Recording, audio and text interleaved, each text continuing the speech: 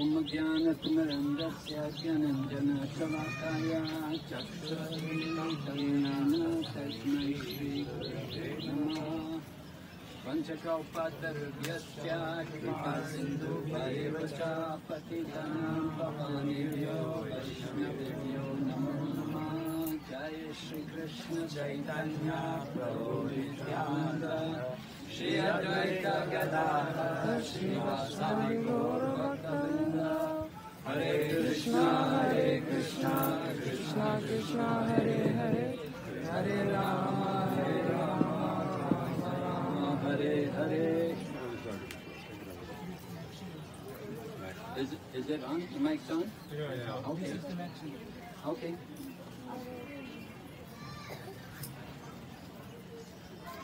So I had the good fortune to be in India in I think India 1975 uh, and I stayed up till like 78. So I saw Prabhupada's disappearance pastimes and I saw also Tamal Krishna Maharaj taking great care to serve Srila Prabhupada. It was very shocking to me that some years back people came up with a poison theory. I thought it was just the most ridiculous thing. It was just so outrageous. Like there was not nobody ever considered like I don't know how people came up with these crazy ideas. But anybody who witnessed, and I did witness, I saw how much love and how much care and concern the people serving Srila Prabhupada had for Srila Prabhupada. And the central figure in that was Tamal Krishna Goswami. He gave up all of his services in 1977. He gave up everything. He just left everything and came to be with Prabhupada because he, he was so intelligent he could understand that Prabhupada's time was limited. And he just wanted to spend every possible minute he could with Srila Prabhupada. So that was one thing which I can always see with Tamal Krishna Goswami. Even after Prabhupada left, he was very chaste to Srila Prabhupada's mission and Srila Prabhupada's desire. Although after Prabhupada left, there were, you know, when the great Acharya like Srila Prabhupada, when they leave the world, then there's always some disturbance. There's going to be upheaval. It's a very difficult time. And it really was a very difficult time for all the devotees. We were all confused. You know, I couldn't imagine Prabhupada was going to leave us. I thought Prabhupada would always be with us. But Tamal Krishna Maharaj, he had better vision. He understood he wanted to be with Prabhupada. And he gave full energy to serving Srila Prabhupada in every aspect of his service. I remember when Prabhupada came to Juhu in 1977, it was about the summertime. So uh, Prabhupada had just come back from the west, from the west, and he came to stay Juhu for a few days. Kartal, very very small kartal, and we would chant. Tamal Krishna Maharaj, monitoring. Who's going in? What? You, have to do everything exactly the way Prabhupada wants. It should be very soft, very sweet kirtan. So Tamal Krishna Maharaj was monitoring all these kinds of details. And then, of course, Prabhupada to Vrindavan, to Krishna Balaram Mandir, and Tamal Krishna Maharaj was in so much anxiety. It was, it, was, it was such a tense time. It was so unbelievably intense. That atmosphere, we didn't know what's going to happen. And Prabhupada was telling the devotees he wanted to go around Govardhan Hill. He wanted to do Govardhan Parikram because it was Kartik time.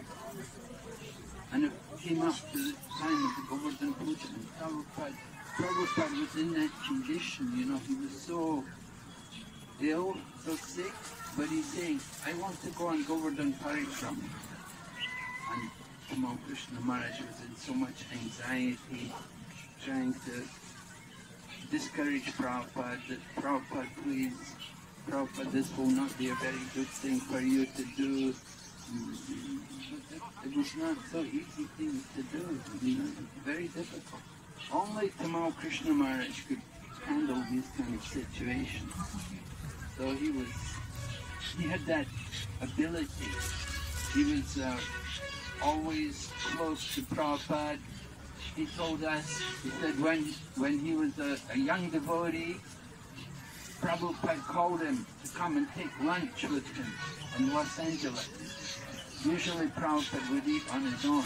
But one day, Tamal Krishna, at that time he was not even a sannyasi, he called him to come and take lunch with him. And Prabhupada wanted him to promise him that he would distribute books, the books. He said, Prabhupada explained to him, he said, we want to give a big order to Dai Nippon to print Back to Godhead magazine, and I want to know how many copies will you distribute? How many copies will you pledge to distribute every month? So Prabhupada called him and asked Tamal Krishna Maharaj. That time he was kind of like the, the temple manager of Los Angeles. He was like overseeing all the affairs, and Vishnu Jan was there, course, at that time. And so Prabhupada had so much trust in Tamal Krishna Maharaj from the beginning that when he wanted to increase the book production, he called him, he wanted him to promise that he would distribute books. So that, that was one example. Tamal Krishna Maharaj was always always thinking, what would Prabhupada do in this situation? After Prabhupada left, there were many problems, there were many crises came up, overseeing the affairs of the ISKCON movement. It was a very difficult time. People who were in the GBC at that time probably Sari Prabhu, he could tell you better than me? That the, the GBC meetings were very passionate affairs with a lot of screaming shouting, very intense? So Tamal Krishna Maharaj was there, you know, he had to be involved in the, all of this, but, you know, he was a leader. He was one of the prominent leaders, and because he was such a leader in ISKCON, so people would criticize, because that's the nature of the world. The bigger position you take, the more people will look for some fault. And they'll try to find some fault and criticize you and try to pull you down. So very difficult situation. Tamal Krishna Maharaj had to undergo all of these things. People were not able to often see the good and they would try to find the fault. But he tolerated all of these things and he went ahead. He thought what he wanted to do to please Srila Prabhupada. And he, he, at one point, because he'd come to China, Prabhupada, of course, had told him, you go to China. That was uh, before Prabhupada departed. Prabhupada told him, that, yeah, you go to China, that will be good. Because there were so many, so much criticism, so many problems in America. And so he thought it might be better you go and start something over in China, in the Far East. And so Tamal Krishna Maharaj did that. But that was how I ended up over there. You know, he told me, he said, uh, we need to develop the Far East. He said, if we have a movement just in the West, it's not very good. He said, we have to be everywhere. Lord Chaitanya Mahaprabhu predicted. That every town and village all over the planet. And if we don't have a movement in the East, then it's not very good. What is wrong? So he encouraged me in this way that I should put some energy. And he also would come there regularly. He was very concerned. He considered the Far East, China, that was like his Prabhu Datta Desh, the place given to him by Prabhupada. And he did come there and he was always concerned what's going on there, what's happening there, what are they doing there. In those days we didn't have anything in, much in, at all in China because it was really just Hong Kong. But he developed Hong Kong very nicely. He put a lot of energy into it. He got Surabhi Prabhu to design the place. Very nice, in a little apartment in Hong Kong. He designed a beautiful temple because of the relationship with Tamal Krishna Goswami. So Surabhi Prabhu kindly designed it for him and arranged all the different artifacts, made like a little museum there in the temple. Tamal Krishna Maharaj was really a perfection. Everything he did had to be really, it had to be really just right. If it wasn't perfect, it, then he, he wouldn't be satisfied. He wanted perfection. I, re- I remember one one Maharaji, she made a she made some cake or something like this. And it hadn't come out very well. And he said to her, "What is this? What is it? You give me like this?" you, you- you know, he, he could just he really chastised her. Why? He said, "Because I know you can do better. I want you to do better. I want you to do the best. This is for Krishna. You should do the best." So he was really a, a connoisseur of perfection. He wanted everything done really nicely. I haven't been to the Dallas Temple since he took it over, but uh, from what I understand, it's very beautiful. They have beautiful paintings there, the Rajasthani art paintings on all the walls, and the Kalachandji restaurant is very well managed and very beautiful and attracts a lot of people. So this is an example. Then also the, they, they have also the TKG school there in Dallas also. He put a lot his energy into all of these different things. You know, he wanted everything done really nicely for Prabhupada.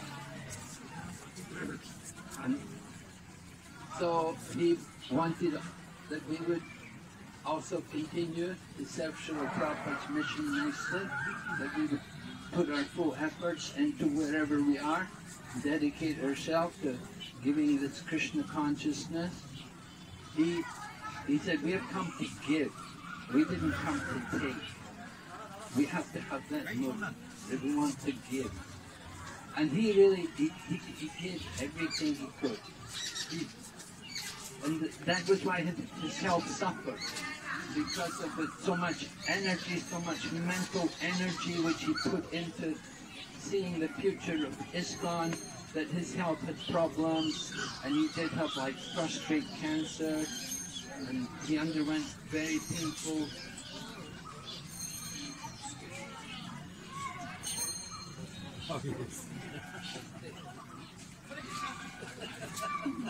I'm sorry. I don't know the words very well.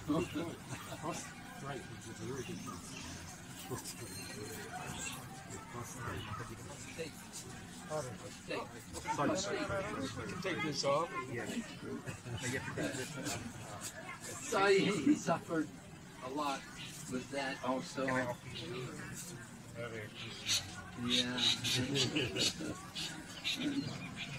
but then somehow he was getting himself back together again and he came for the GBC meeting and he attended the GBC meeting in 2002 and he really took the shoulders, he stole the stage. You know, everybody on the GBC meeting, they were all very impressed, you know, with his intellectual acumen and his quick thinking, sharp responses. He was really a very dynamic personality, and his sudden departure from the world was really a great loss for us. I really, lament- I couldn't imagine, I could not imagine he would leave us so suddenly, so early. and it was really a great loss for our movement. Anyway, we try to remember all of its instructions, and we pray that He will also guide us more in the future. So more and more senior devotees are coming. I think it's nice. Give them a chance. Give them of Thank you very much. Hare Krishna. Thank you very much.